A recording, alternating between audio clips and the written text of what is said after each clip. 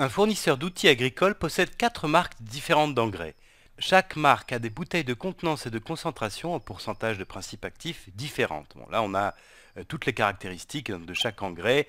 Marque A, des bouteilles de 425 ml avec euh, une concentration de 85% de principe actif, 40 euros, et puis ainsi de suite. On a la marque B, la marque C et la marque D. Voilà, le principe actif, on nous explique ce que c'est. Ça correspond aux ingrédients qui produisent les effets attendus. Les autres sont des ingrédients inertes. Si l'on veut un maximum de principe actif par unité de volume au prix le plus bas, on doit acheter les bouteilles de la marque. Alors il va falloir choisir quelle est euh, la marque la meilleure si on veut un maximum de principe actif par unité de volume au prix le plus bas. Alors en fait, pour répondre à cette question, il faut arriver à calculer le prix par millilitre de principe actif dans, chaque cas. Hein. Alors évidemment, il faut commencer par calculer le volume de principe actif qui est contenu dans chaque bouteille de chaque marque. Alors on va le faire pour chaque cas. Hein.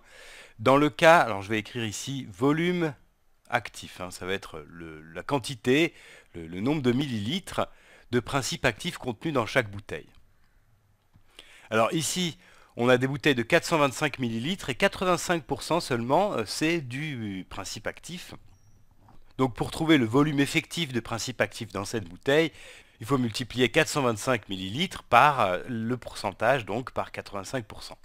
Alors je vais le faire avec la calculatrice. Alors, 425 ml multiplié par 0,85, ça c'est 85%, et ça me donne 361,25. Donc dans ce cas-là, c'est 361,25. En fait, c'est des millilitres contenus dans chaque bouteille. Hein. Chaque bouteille contient 361,25 millilitres de principe actif. Alors maintenant, il faut qu'on calcule le prix par millilitre de principe actif. Hein. Alors ici, une bouteille coûte 40 euros et elle contient 361,25 millilitres. Donc le prix, je vais l'écrire ici, prix par millilitre de principe actif, hein. bon je sous-entends ça, peux l'écrire ici, de principe actif. Voilà. Bien pour, pour faire ça, il faut que je divise le prix par la quantité de principe actif contenu effectivement dans la bouteille, donc par 361,25. Alors je reprends la calculatrice et je vais faire ça. Donc 40 euros divisé par 361,25. Voilà, et ça me donne cette valeur-là, 0,1108. Je vais arrondir ça au centième, donc 0,11. Donc dans ce cas-là, dans le cas de la marque A, c'est euh, le prix par millilitre de principe actif, c'est 0,11 euros. Donc on paye 0,11 euros par millilitre. Alors si tu veux, on peut faire un petit aparté sur les, sur unités, hein, parce que ici en fait ce que j'ai noté comme volume actif, hein, c'était la quantité de principe actif contenu dans la bouteille. Donc c'était les unités, c'est 361,25 euh, millilitres par bouteille. Hein, en fait c'est exactement ça.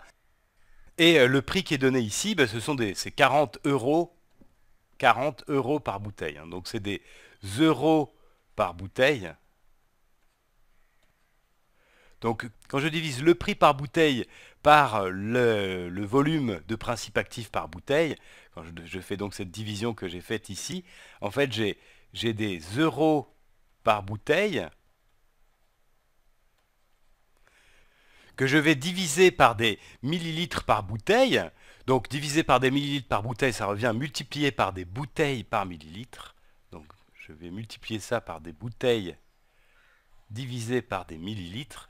Et tu vois que finalement les bouteilles se simplifient. Voilà, rappelle-toi, les unités, on les traite comme des... On peut les manipuler comme des, expressions algébriques, comme des variables. Hein. Donc ici, on se retrouve avec effectivement des euros par millilitre. Hein. Donc c'est ce qu'on a écrit ici.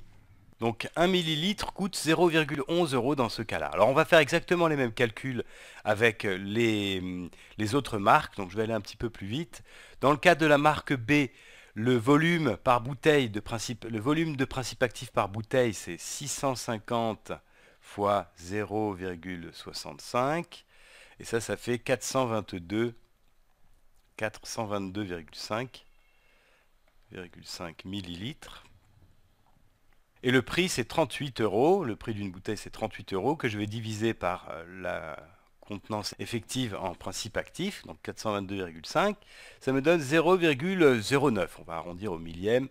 0,09 euros. Euros par millilitre. Hein. Je n'écris pas ici par millilitre puisque c'est déjà contenu dans l'entête qui est là. Alors je continue avec la marque C. La marque C, alors j'ai 775 millilitres de, ça c'est la contenance de la bouteille, multiplié par 0,55, ça me donne la contenance en principe actif, le volume de principe actif dans la bouteille, contenu dans la bouteille, et c'est 426, j'ai pas bien vu, 426,25 millilitres. Voilà. Et le prix de la bouteille, c'est 43 euros. Donc je vais faire 43 divisé par 426,25, ce qui me donne 0,10. 0,10 euros par millilitre. Alors, le dernier cas, j'ai une contenance. Alors, 1 litre, il ne faut pas se tromper, 1 litre, c'est 1000 millilitres. Hein. Voilà, ça c'était juste un petit piège. Toutes les unités étaient données jusqu'à maintenant en millilitres, et là c'est la contenance, enfin c'est des bouteilles de 1 litre, donc de 1000 millilitres. Alors on peut calculer la contenance, en fait il y a 25%, c'est-à-dire un quart qui est du principe actif, donc un quart de 1000 millilitres, ça fait 250 millilitres. Donc là j'ai 250 millilitres de principe actif dans cette bouteille. Et maintenant je vais calculer le prix par millilitre, hein, comme pour les autres. Donc le prix de la bouteille, c'est 30 euros. Et je vais diviser ça par la quantité de principe actif, c'est-à-dire par 250 millilitres. Voilà, donc ça fait 0,12. 0,12 euros. Voilà.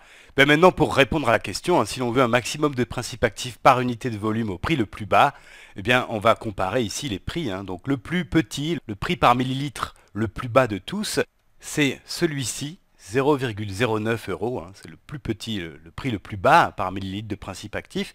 Donc c'est celui de la compagnie B. Donc euh, on doit acheter les bouteilles de la marque B. Voilà